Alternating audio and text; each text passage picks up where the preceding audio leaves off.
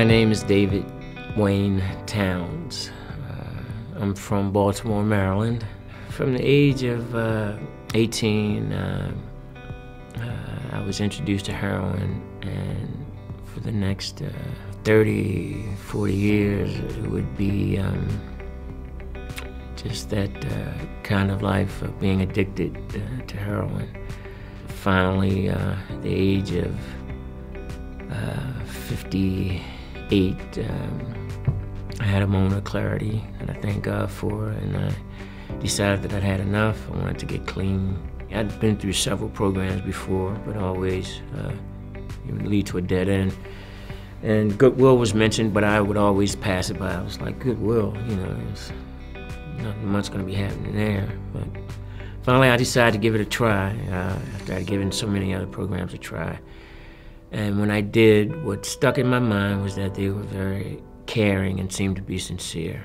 Uh, my family just became supportive once they saw that I was serious, that I was off of the drugs, that I was employed. Uh, they saw what Goodwill was doing for me. They saw what the National Retail Federation was doing for me as far as honoring me and allowing me to, to speak. Uh, when I started out, I I didn't even think that I was horrible, that anyone would want to employ me. One, my age. Two, definitely because, uh, you know, I was a drug addict for so many years.